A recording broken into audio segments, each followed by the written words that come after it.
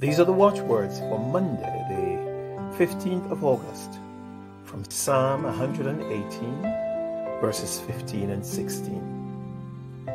There are glad songs of victory in the tents of the righteous. The right hand of the Lord is exalted.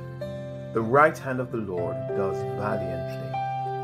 There are glad songs of victory in the tents of the righteous. The right hand of the Lord is exalted the right hand of the Lord does valiantly.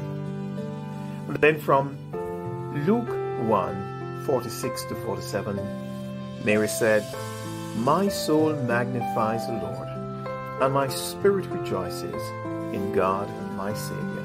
Mary said, My soul magnifies the Lord, and my spirit rejoices in God my Saviour. No more we doubt thee, glorious Prince of Life. Life is not without thee. Aid us in our strife. Make us more than conquerors through thy deathless love. Bring us safe through Jordan to thy home above.